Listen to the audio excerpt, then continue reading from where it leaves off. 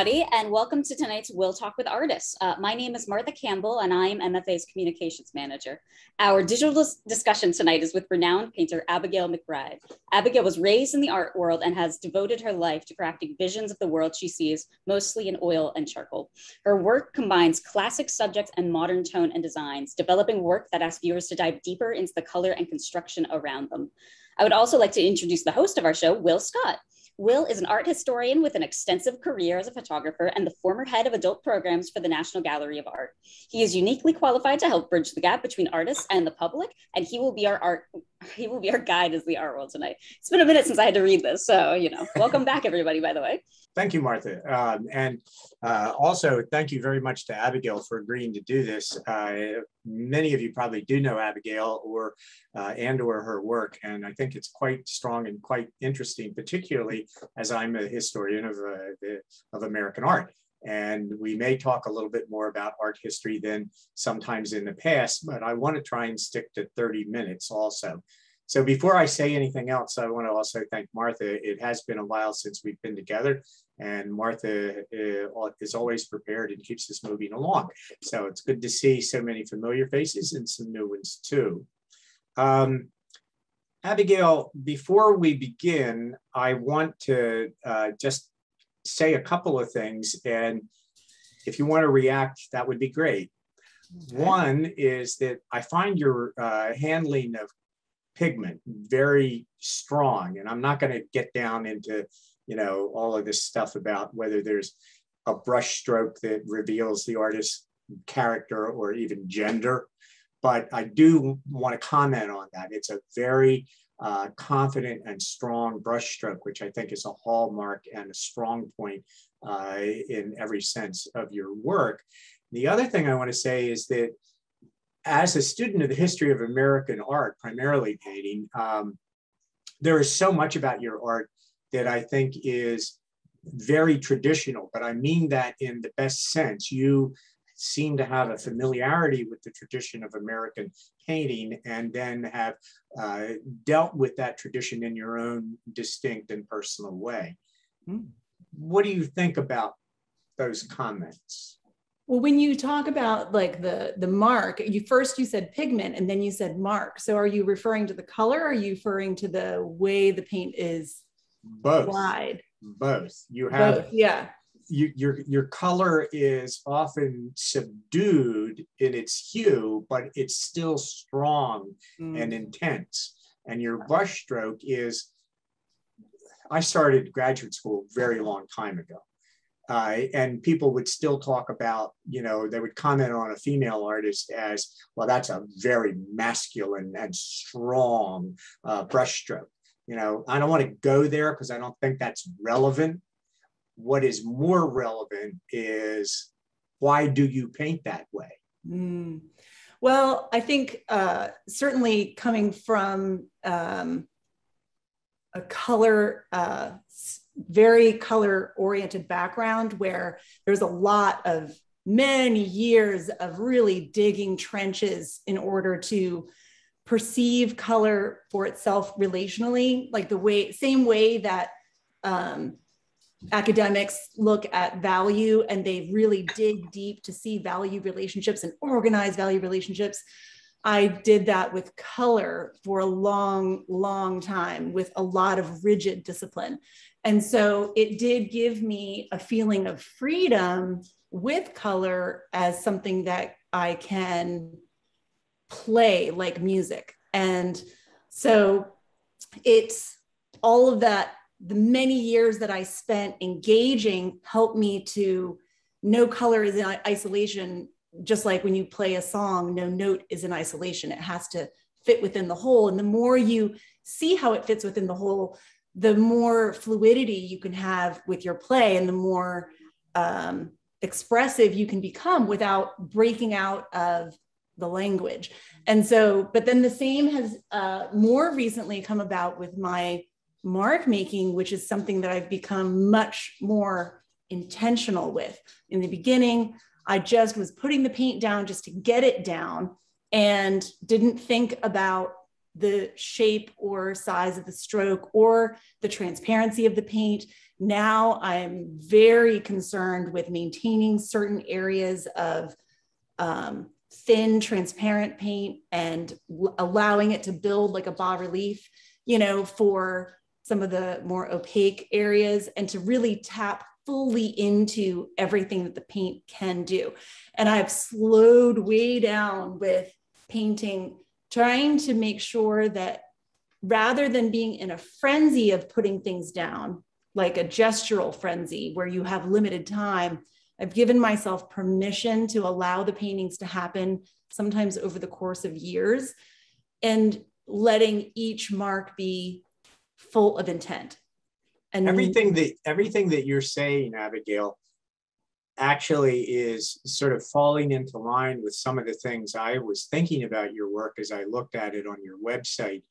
In that while when you look at the images and the subjects that you've chosen, uh, they seem very traditional. Mm. But the way you were just talking about how you've made decisions about mark making and about color relationships falls right in line with some of the early 20th century abstractionists and their theories about color and yeah. painting. So, what is it that has most influenced you? And this would be a time where you, you know you can go back to the very beginning and talk about uh, you know your your early experiences or your early artistic education.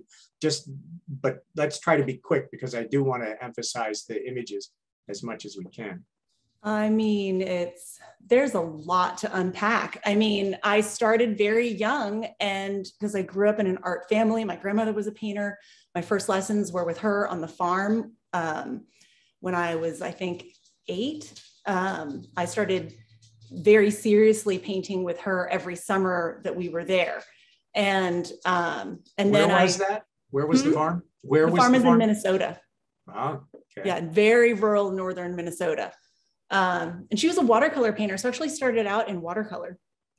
Um, and then uh, I would say in high school, I found the local art community in Annapolis and uh, discovered a really vibrant community of artists, starting with Bonnie Roth Anderson, um, who all had connections to the Cape School. And uh, ultimately, that led me to go up to Cape Cod and the Cape School and I spent four or five summers living at the school in a very rustic environment, you know, outdoor shower. Uh, you could see through the walls to the street. You had to kill all the mosquitoes before you went to bed. It was, um, you know, no heat, no air. It was, but it was amazing because we just did nothing but paint all day. And then all the different people who'd studied with Henry Hensche, who is, um, you know, the last real like legacy painter of that American okay. tradition. Abigail, I, am sorry to interrupt you, but yeah. because I'm more conscious uh, about the fact that I haven't allowed a lot of time for the Q and A, mm. I want to. I'm going to be interrupting you more than I've interrupted others, so I apologize. To okay. But when you say that your uh, grandmother was sort of your first teacher in uh, rural Minnesota, uh, when was your grandmother born, and was she trained as an artist?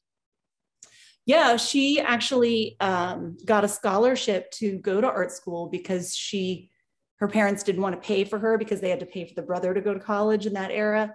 And she was making her living as an illustrator as a single uh, woman, which was unheard of at that time. And uh, until she married my grandfather, who she had had a, a wartime correspondence with. And uh, then, you know, this is the Second in, World War. So you're, you're, yeah your grandmother would have begun painting when in the 30s. Yeah, I guess. Like yeah. That. Okay. And she was a watercolorist. So yeah. did she ever tell you that she had any favorite American watercolorists or or watercolorists in general?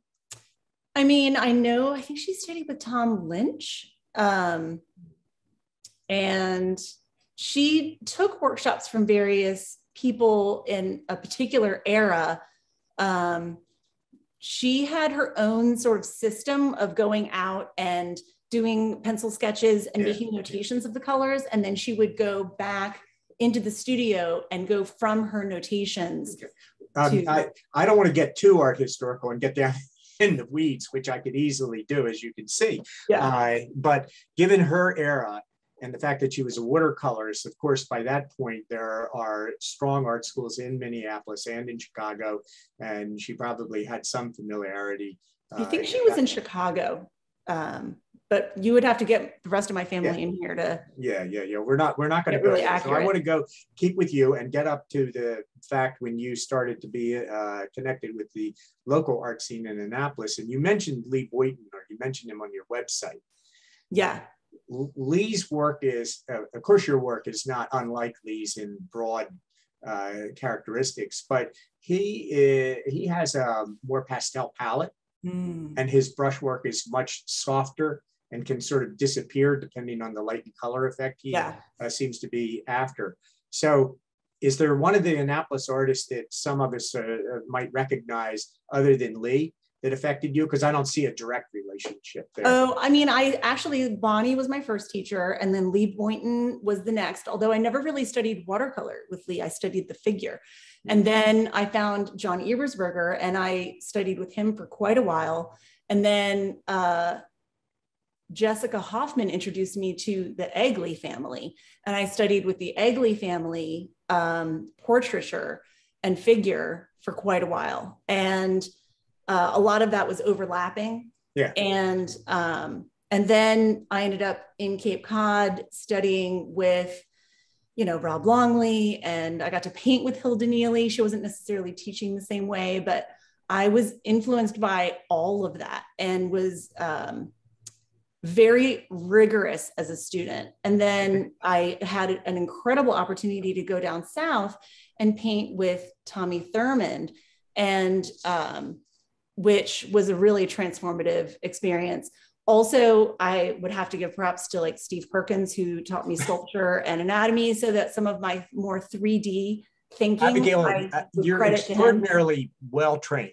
uh, I really went for it with like the Yeah. scholarship and um I'm I would say a little bit insatiable for um more knowledge and tools to have in my belt because I feel like it's freedom. It represents freedom. The more I know about illusion language and how to approach things and have all the options at my disposal, and I've absorbed them so that they become intuition Sure. and they can also be Well, let's start front. looking at how you applied that uh, experience, that training, and that intuition.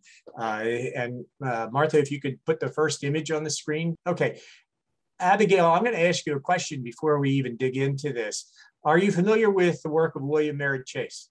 Oh yeah, yeah. He's, he's of the legacy of Yeah. American Impressionists. Uh, well, I I reference him in a different way. He's always credited as being an American impressionist, and in fact he is. But he's not. That that's um, if you don't know his work and his period in American art in depth, that's a little superficial and even I th- I feel misleading. But not in your case. I'm not uh, applying this in any way to you. But I want to look at this image because of of um, two things. One is that most people think of Georgia O'Keeffe as this great modernist who did all of these southwestern uh, sort of, you know, the the skulls in the sky and the images of the sun and uh, of the Abiquiu landscape. But when she was a young woman in her uh, teens, she studied with William Merritt Chase in New York, and she painted a beautiful still life of a rabbit. You know, it was a classic studio exercise piece, but her color and her brushstroke, in some ways, I looked at this and I thought of that image. That is crazy because you are not the first person to say that to me about Georgia O'Keeffe. In fact, I um, recently have been participating in a museum exhibit out west, the Cheyenne Frontier Days. And the reason I was connected to them was that there was an antique dealer that I used to visit frequently in order to get still life objects. And every time I would stop in over the course of years, I would go, Oh, hey, and look, here's the still life. And I did this is, I got this one in your shop, and this object I got in your shop. And then all of a sudden, one year he goes, You know, your work reminds me a little bit of Georgia O'Keeffe. And I'm connected to a curator out west. And I think your work might be good for this show. I'm going to go ahead and ask him to invite you. And I was like, okay, you know, and and then sure enough, I ended up, and it was I had never before heard you're the only the second person only to make a direct connection to Georgia O'Keeffe. I mean, yeah, I that just proves, Abigail, how uh, strong your work is and what a brilliant art historian I am. Victory for both of us. yeah, yeah. Well, um, what I want to talk about here is this is a good example of what I uh, was saying earlier about I think your brushstroke is strong. Uh, and um, I'm thinking of the green leaves, but really the, the whole surface of the canvas is surprisingly uh, firm. Mm. Uh, some of the American Impressionists and some of the French Impressionists, you, you know, their touch has a delicacy to it. Mm. And I don't see that anywhere in the paintings of yours. And I've not seen a lot of your paintings in the flesh. Mm-hmm. So I am working through this, uh, this sort of scrim of uh, digital projection. But the other thing that I wanted to say is that I noticed when I looked over the work on, on your website, shadows are very, very important to you, it seems. Am I? Well, yeah, I would say that shadows are equally important to light and equally important to form. Uh, in the end, it's all um, it's all equal. It's all pieces of the puzzle. And if you have one piece missing, then it doesn't it's not a complete puzzle. And so I'm very keen on shadows and um, but I'm also leery of like I went through a phase where I was trying to render the form and then I would connect the form shadow and the cast shadow as a unit and try to model those as a unit. But now I've moved around into trying to perceive the spaces between the objects as walls, you know, of a tunnel. So you would like, as you pass between objects, you're going through a tunnel that's created by the objects. And so that I can render that rather than being object oriented, where I render the object and then fill in the background. So I'm very intentionally avoiding the render the object, fill in the background, which is where I think most people start, trying to, and I feel like it's the role of the artist in culture to see the world and to see things from another view and to try to show people uh, their world in a new way. And so I'm always looking for that deeper way or a sideways way of seeing things so that I can tap into the magic. The term you use on your website that I think is, uh, you've described what you're referring to, but I want to be sure that I'm understanding both what you say and do uh, fairly. Um, uh, you refer to a visual diary. Every one of your paintings is kind of like a visual diary.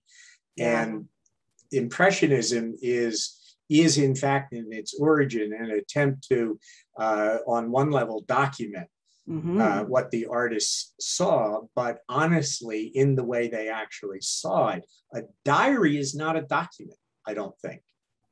So, what did you mean? And, it, and if you question me, I see you cock your head, which is not unexpected, the things that I say. Uh, I mean, I, I, think of a diary as a document when I write in a diary. That's what. All that's right. Well, let's int- let's go there because that's what I'm getting at, uh, and I'm glad you responded that way. To me, a diary is an individual's uh, uh, record mm. of what they saw and felt or experienced in a given time frame. It might be daily, it might be weekly, or whatever they decide.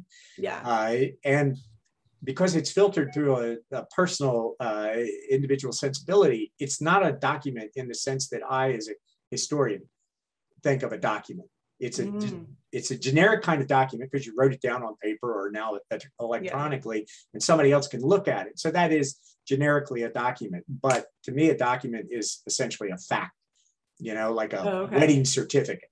Oh, okay. Okay. So that kind of document. Okay. Yeah. So I, what did um, you really mean when you said a visual document? Can you kind of vi- when I say a visual diary, it's I would say that my work has become a balancing act between um, highly technical scholarly pursuits in optical understandings of light and form, right? And how as humans we perceive light and form and you know how to grapple with the passing of time and the adjustment of the iris and you know all these things and then on the other side drilling in a more personal sense drilling down to what really specifically am i interested in what role do i want my work to play and in the end i feel like anytime you get someone who's a plein air painter who's a perceptual painter you become an accidental genre painter because the things that you put your interest into represent the day, the current day.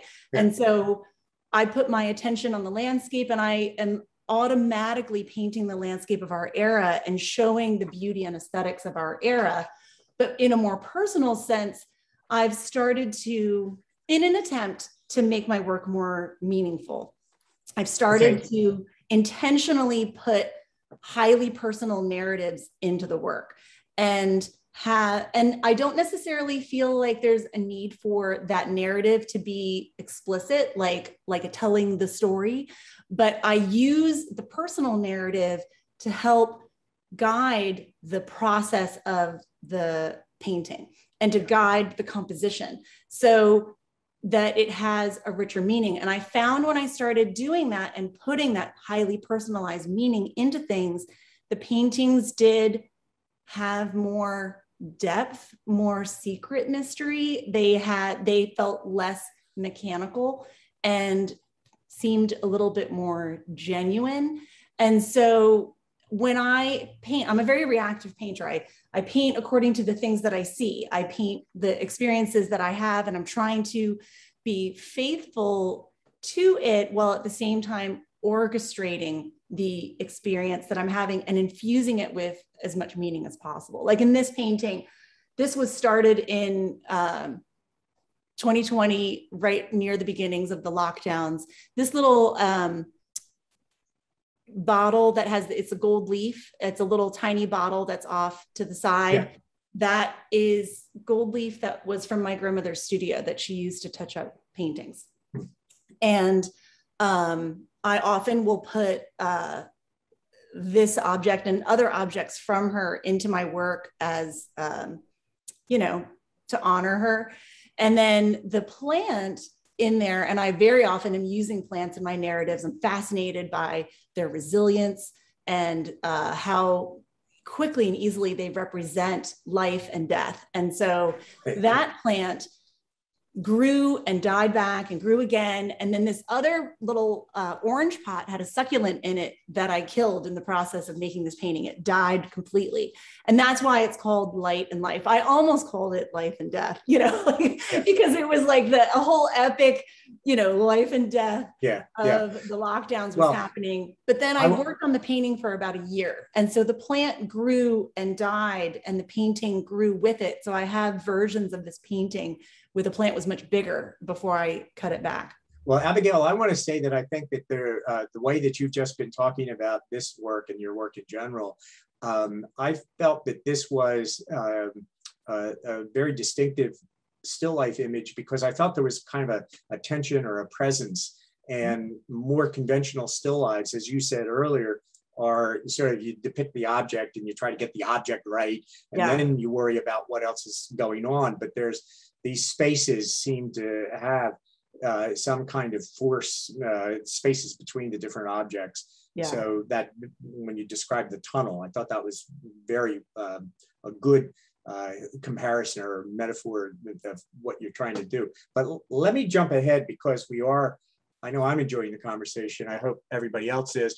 Uh, we are already at 525. Martha, can you jump ahead, ahead to the uh, portrait of Tommy? Okay, thank you. I, those two images, uh, they're beautiful images, but I, I could do a whole art historical riff on them. And if we talked about them as long as we just did about the first one, Abigail, I know, right? we'd be done with our hour. Um, so you do still life, and we, we've got to look at a landscape before we uh, wrap up and uh, take questions. But you do still life, you do landscape, you do portraiture. Uh, you know, these are the, the basics of traditional Western art. and and a lot of uh, uh, Asian art as well. I mean, it's it's a pretty universal human thing to want to look at other people, look at the beauties of nature, uh, still life or landscape, et cetera, et cetera. So, how do you your especially your charcoal drawings uh, are very uh, compelling. So. Uh, is there any intentionality to the fact that you've stuck close to these kind of basic traditional subjects of Western art? Um, I mean, I've always loved the figure. I thought that I would be a figure portrait painter exclusively when I first started, and then got really caught up in the uh, enjoyment of you know studying color relationships and then started painting landscape just so that it could be a backdrop to my portraits. But then i started selling the landscapes off the easel and it was actually my that's nice. it, it, i know it was amazing. And so it really helped me to launch a career right away to uh, do these alla prima uh, landscape paintings. And then i found it unwieldy to get models. It was expensive to get models. Oh, yeah. you know portrait commissions were especially in the beginning were very stressful um, until i now you know can exert a little bit more vision over a portrait. Because I in the beginning portraiture felt like um, it was all about just pleasing another person and that I was not a component in yeah. it. But you, now you that I have my Sargent own said, approach, hmm? you know what John Singer Sargent said about portraits. Oh yeah, the mouth. About portraits, he said, "Say that again." The, you're talking about the mouth quote, like yes, yeah, yeah. a portrait is a painting about which there's always something wrong with the mouth. Little, yeah, there's uh, something uh, wrong. Yeah, uh, that your description was much more personal and immediate. I think that's what he was so real. But yeah. now I feel now this was an exercise in color painting. This particular image, and what it just so happened to be. Hmm? What, what do you mean by saying an exercise in color painting? Oh, color painting. Yeah, color painting, where I was painting just um, facets of color so that the form is turned, it's like very geometric.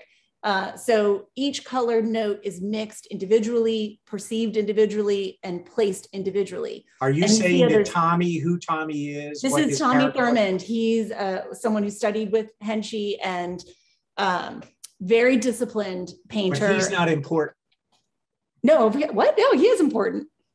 No, no, no, no. Wait, yeah, I'm probably. Oh, oh you mean? Oh, you as mean a subject of this painting, it's light and color that's important. Yes, it's um, light and color. Was I really because I was painting with him at the time, and then he posed, and I thought in order to honor him, I painted it rigidly according to the process that he had shown me, and oh, so okay. where it's all knife, all facets, every color mixed. Um, very specifically and um, I mean, I don't want to go into the process. It's actually yeah. a little bit convoluted. Hard without the yeah. materials in front. It's easy to it's easy to get, to get in the weeds with talking technical talk, but um, but I love this painting because it really represents an era. For me, it's a diary of my time there. Like, um, and the rigid discipline that I experienced painting with him is ultimately what freed me because I realized that you could really do anything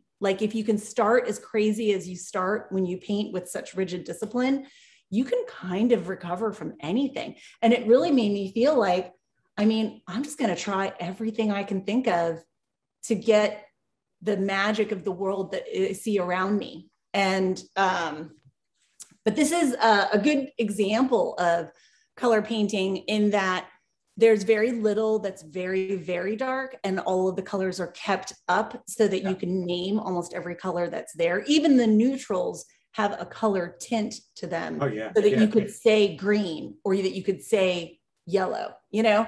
And now in my current work, I am uh, a lot more free to allow my darks to go all the way down into a blackishness which, and this is where seeing work in person is helpful. They are colors, but they're as dark as they can get. So all of the darks are very intentionally in a color spectrum of either purple or yellow, you know, the whole spectrum. I made sure on my palette that I have a dark representative of every key color. And then, so I'm trying to use, really use the full range. And I remember that, wasn't it Sargent who like didn't get to be an, a considered an impressionist because he was using black? And, Yes, um, yes. and I have black on my palette, but I just decided, um, I mean, it's just another color. Like it's as soon as you paint something that's black, you immediately see that black in the light and black in the shade are two completely different colors, and they're brown blacks and green. And by the way, for all of for all of our listeners, that business about you couldn't be called an impressionist if you painted in black is absolute nonsense. Uh, Think about Oh. all the black that Degas and Pissarro. yes, well. Degas for sure. Used plenty Yeah, but black. Pissarro too. You should look at a lot of the Boulevard paintings of Paris. Uh, there's they're full of black. But anyway, um, let's stick with the figure and uh, look at uh, uh, Roman, because that's I don't know whether you intended this when you uh, selected the images, but this is such a strong counterpoint in my mind to the images uh, image of um, Tommy. So Mm. this is your child, right? That's right. That's my And youngest. are you painting him because he's a convenient, accessible subject in this image, or is there some other reason that you Well, he decided? request he requested it, and so um, my kids keep careful track of how many paintings each of them has, Oh, and um, and so so the score needed to get evened up. And he loved this little blue stuffed animal and wanted to pose with it because it was his friend.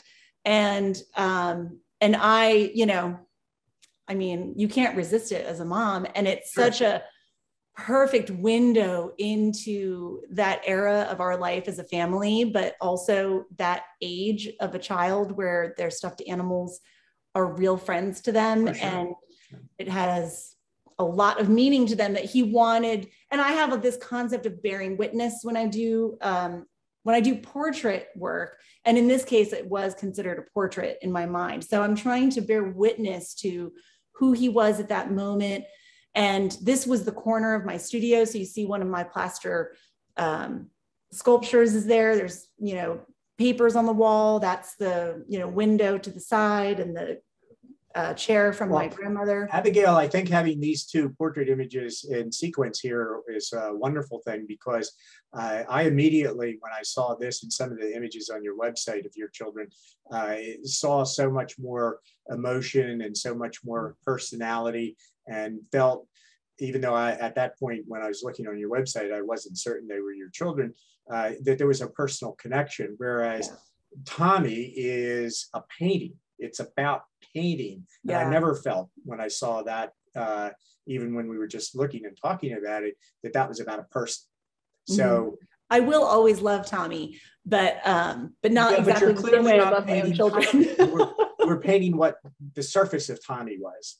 And Yes. this is, has all of that kind of emotional depth and resonance. That's right. Uh, Here is where I was really bringing in, you know, all of all of my interests at that moment, you know, in the optics of light, you know, and how the light flowed around and behind things and the, you know, Roman himself and uh, the meaning of everything and um, that sort of direct gaze that kids have where they, you know, they'll just stare right into Yeah. your soul. Yeah, yeah, yeah.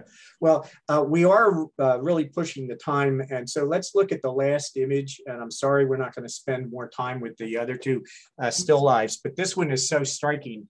Uh, I'm glad you put it last. And I really want to talk about that before we get to the uh, Mhm. barn wall uh, and talk for a moment or two about landscapes. Let's go back to the lemon.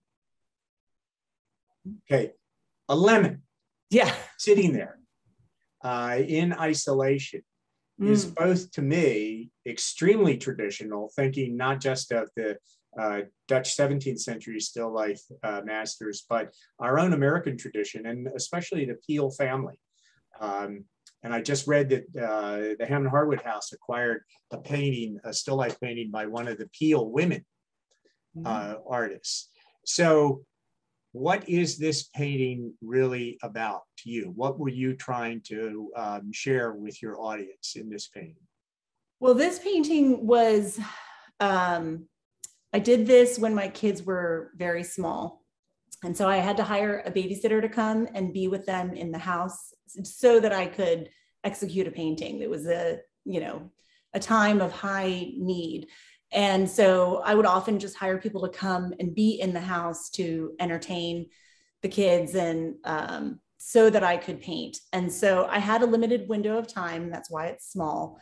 And I had things I had been thinking about that I wanted to try. I wanted to try painting with the rigid color discipline of doing color facets and uh, very clean mixtures of paint. But I also wanted to push and uh, allow for a full value range. And I wanted to make the shapes that I made not only shapes that I observed to render the form, because really you look at shapes and you get to choose, you know, the shapes you you can see lots of different versions of shapes as you're picking and choosing.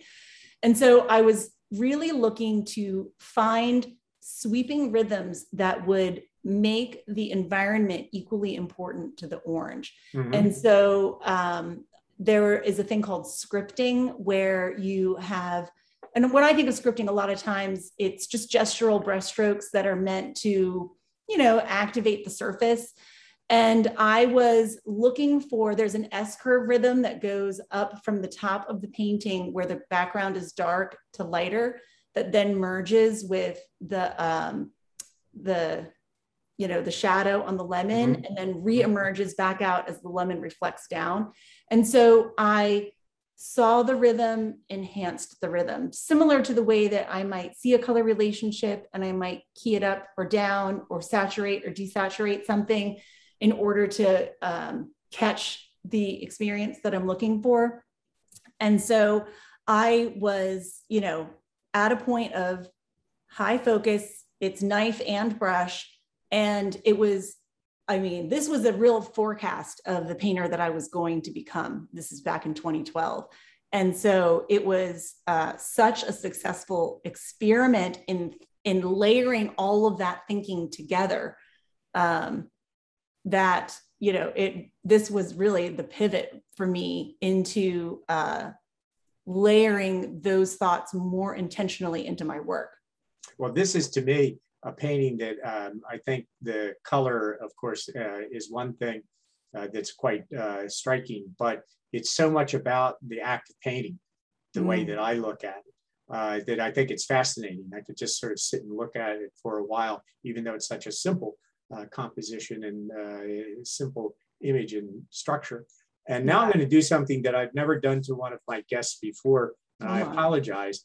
And that is you paint lots and lots of wonderful landscapes, and we only have one uh, okay. to look at. It's the next slide.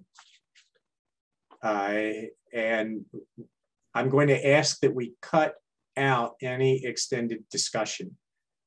It's almost like I would like to have you back at another time where we could just talk for a while about your landscapes. Yeah, I know there's a lot, there's so, different things to unpack in each of the different subjects. Right.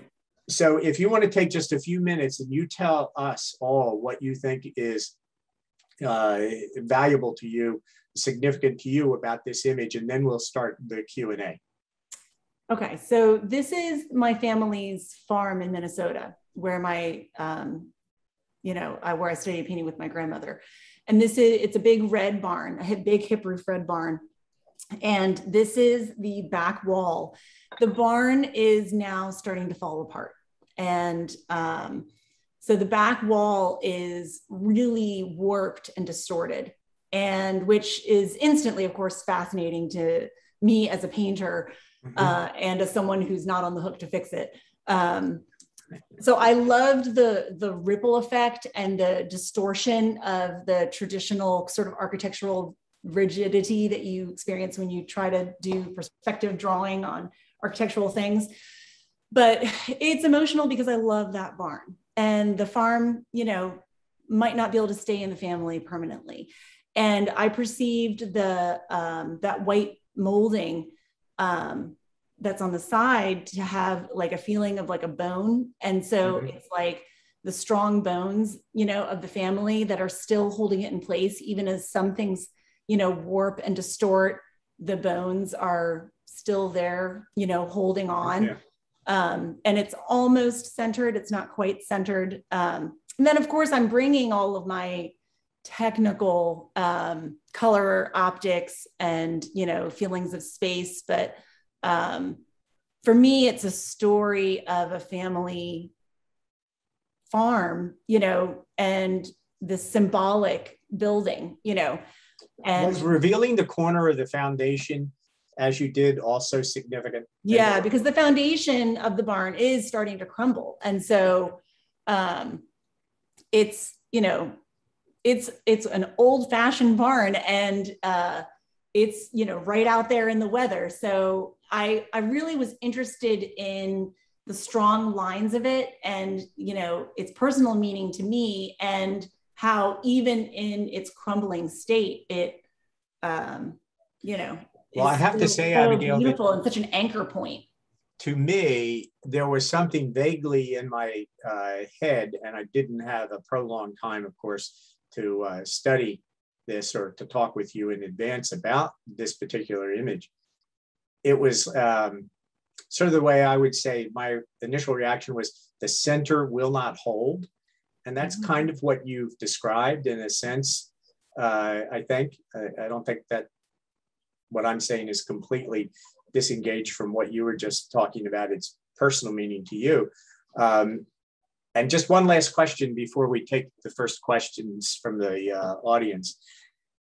Do you try to think of all your landscapes in that way? I mean, this obviously has a deeply personal mm-hmm. and very significant meaning, but is that to some degree typical of most of your landscapes? I would say certainly all of my landscapes have uh, an inner narrative that I bring to them, but uh, some are more personal than others. I am very specifically interested in uh, things being obscured and then revealed. And so having things block your view so that you're seeing around or through something. I feel like there's something about that that incites a longing and makes the things that you can't quite see more attractive, almost like a voyeuristic, like, you know, walking and then your neighbors, you can see into their living room. And it's like, whoa, you know, it's so much more interesting than when you just walk into their living room. Yeah, yeah. And so I'm looking for those concepts uh, and the flow of the line of sight um, in all of my work. I'm interested in looking through. Well, it's been fascinating for me to talk to you and to look at your art uh, in more depth. And now we do have, wow, we have 17 minutes for, for Q&A. That might be a, a personal record for me. So uh, who's got questions? I think uh, you had a lot of very interesting, intriguing things to say. So I hope there's lots of good questions. Looks like Jim Earl has something to say. Martha? Uh, uh, this is not exactly a question, it's more of a statement. But uh, I go way back with Abigail. I met her on Cape Cod when I was doing a, a watercolor workshop with Lee Boynton and uh, I think that had to be in the uh, last century. But uh, she, at that time, was a, a, teenager. And as time went on, I've seen her on television, public television, Outdoors Maryland with uh, uh, John Ebersberger. And very recently, I frequently dropped into Abigail's portrait class, which uh, my wife Sylvia uh, was uh, attending. And uh, I saw Abigail in action there. So I'm uh, not at all surprised at how well she has developed but I'm very happy to see that it, it has happened. Well, that's the, that's very nice of you to share that with us all, James, uh, Jim. Uh, so anybody else? Uh, I, I saw one question pop up in the chat. If yes. nobody, um, I can read that off. We have a question from Carolyn Norton who asked, can you talk more about the use of color in barn wall? Mm. Um, can I, can we pull it up so I can see it while I'm talking about it. I, uh, okay. So, well, when you say the use of color, I'm not sure if you mean the process that I used for it, but I would say that, um, you know, when I'm looking at color, I, I break it down into big masses of relationship. And so you can see the shadow in the facing you and the shadow of facing away from you, and then the wall facing you in the light and the wall facing away from you in the light. And so if you just look at those four things and you can see that there is a color direction, like a warmer direction to the wall facing and a cooler to um, the wall away in the light. And then when you move up into the shadows, they also have a cool and warm direction. And so when I'm painting in color, I paint, I prism out the color and I paint it by ingredient. And then I push the color into its different directions until they all harmonize with each other. So the color of the sky is influencing the color of the red on the barn. And the, uh, the grass that I'm standing on is influencing the warmth into the, um, the red that's facing me. And so, and then of course, it's amazing to go up the white molding. White is amazing for getting to see color. So you can see how, you know, lit it was and how as the white molding goes up into shelter more and more, it adjusts. It doesn't get as much sky and it gets darker and darker as it moves up and possibly more muted. And so, um, I mean, that's really how I think about color. I just try to perceive it as simply as I can and then see everything as a whole and nudge each piece gradually until it sings. I hope that answered your question.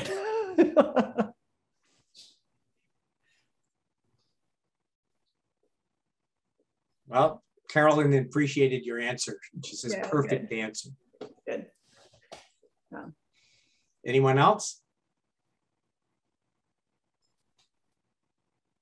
We do have in the chat a lovely comment from Debbie Larcher, um, who says that they would be very much in favor of another Wil Talk with you, Abigail. Oh, Maybe we'll have to have you back. Oh, I love that. Yeah, I really didn't give a lot of my landscape paintings. I've been focused on still life lately, but I really ebb and flow between still life figure and landscape. The still life has really become where I do a lot of my experimenting, and then I'm trying to push those things out into the landscape and uh, figure once upon a time, though, all of my experimenting was happening in the figure, and then that would get pushed to still life and landscape. So they all feed on each other. It's like cross training. Yeah. Well, uh, Martha, let's put that idea on the back burner as long as I, am assuming that Abigail would like to uh, do I would that. be honored. I would love I think we could make another interesting talk just with her landscape. So um, let's pursue that in the future. Okay. Yeah, that sounds great. I love talking about art.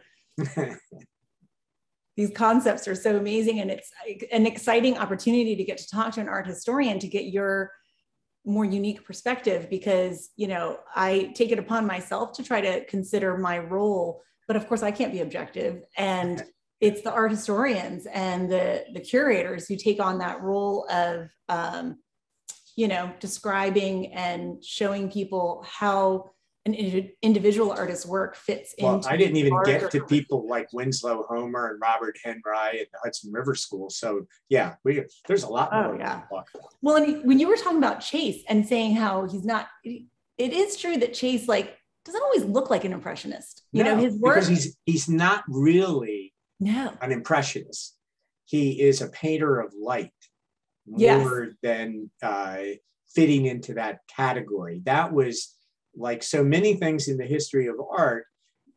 Uh, an art historian and even an art critic, uh, a, a curator or a gallerist is trying to fit each artist into some kind of known and understood Yeah. category, uh, even in you know the most avant-garde art that's right. you make a reference, you know, And it's like That because I studied at that Cape School, which is a real legacy of American uh, Impressionism, it's easy to use the label Impressionist, but I don't always think of myself as an Impressionist painter. I think of myself as a naturalist, and or maybe like an optical humanist, or I just think that uh, Impressionism is so well known as you know.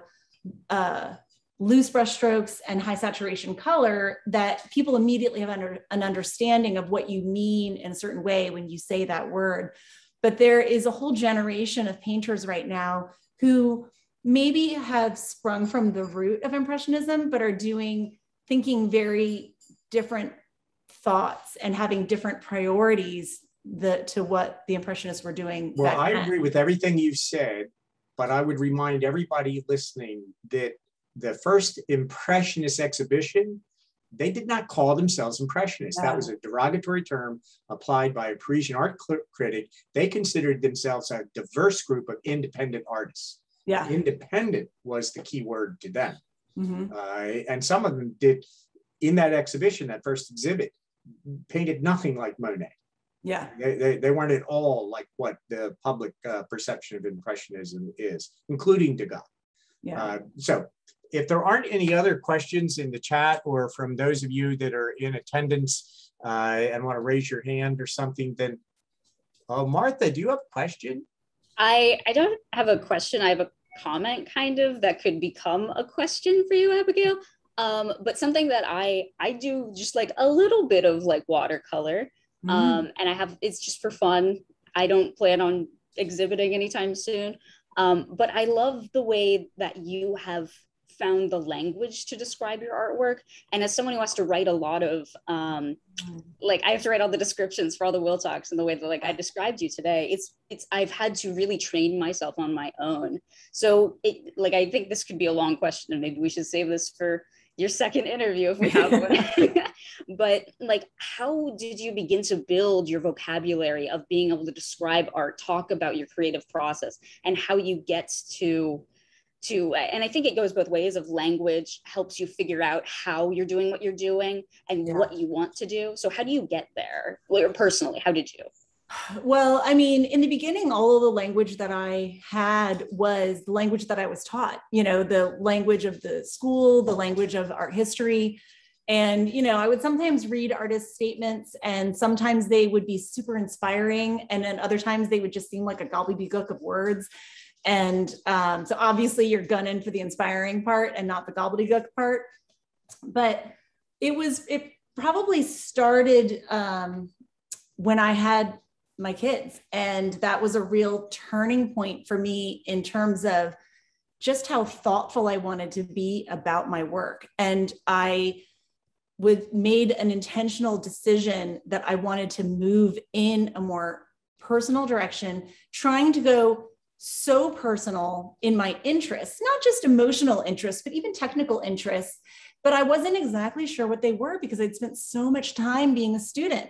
And so I ended up going uh, into a hyperdrive period of looking at all of the work that I could and doing some reading about it.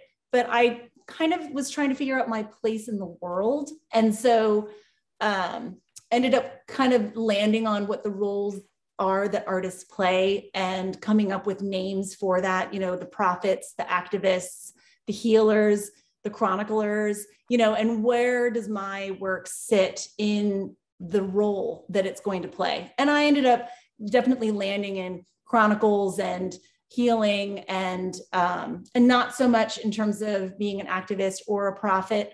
Um, but it helped me to focus you know myself to think in these very broad terms and then decide for myself where my work fit really you know somewhat separate. So there's the science side and then read i do read a lot of scientific articles on optics and that has helped to uh, give me a little bit more language for the particular kind of art that i make but um, the more I think about the whys and the meaning behind what I do, the more language I seem to have to describe it. Because before, the only thing I could say was, well, I use a palette knife, you know, and then I make the color and I put it down as best I can, you know, and it's like, that's very technical and very, you know, essential, but it's the why part behind it. Like, why? Why am I doing that? You know, is it just because I want to make something pretty or is there something richer? And there's a quote from Rex Vicat Cole that uh, really caught my attention, the artistic anatomy of trees, where he said each artist sees in nature, you know, this or that. And, uh, you know, and men of genius find, you know, a particular thing. And then for generations after, artists come and dig at that same hole, you know. and I was like, yeah, like yeah. I am digging at the holes of art history. I'm digging at the holes of all of the technical knowledge, you know, an understanding of the world that's come before me. I've dug all these holes and there's more to dig. But what do I see in nature? And then what do I even care to investigate? in a more personal way. Personal in that I'm just intellectually interested, and also personal in that it fits into a private narrative. The same way that when a song, when a lyricist gives a really specific personal moment about, you know, and then that, yeah, that was my sweater, you know, and even though it's a micro moment, everyone understands what that argument was about, you know, and like, so I'm looking for those things kind of pushing through the micro to get back into macro. Does yeah. that make sense? I, I have a book recommendation for you. Oh, really? um, but um, I, I just want to plug in also that um, for Wil Talks is it, like the the information, the history that I've gotten out of Wil and in discussing mm. all of these different types of art forms with all these different types of artists has gotten me on that path. So, mm-hmm. you know, artist discussions like this are really important to describe yeah. your craft. And I, I've thoroughly enjoyed it and tonight as well. So, yeah.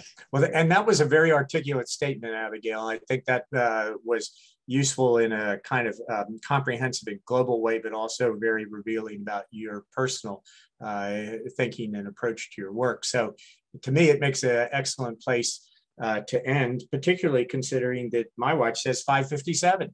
Ooh rather remarkable that we could do that. um, if I can, real fast, um, our next Wil Talk will be on September 21st, and we'll be talking with photographer and mosaicist Natalie McGuire. Um, mm-hmm. I'd also like to plug the fact that if you enjoyed tonight, um, Wil Talks get published on our YouTube channel about two weeks after the Wil Talk takes place. Um, so you can subscribe there if you want to watch others of this. Um, you can also, if you're an MFA member, you are welcome to apply um, to be on a Wil Talk yourself, or if you'd like to recommend someone for a Wil Talk, you can email me at communications at mdfedart.org. And the application to uh, apply to the Wil Talks is in the member memo, which you receive every Wednesday. So that's my plug. Thank you. Okay. All right. Abigail, thanks again. That was a wonderful conversation. I very oh, much great. enjoyed it. Yeah, thanks really to all of you who were listening in and participating tonight. And thanks, Martha, for your excellent support. So See you in two weeks, I hope. Bye. Thanks, everyone.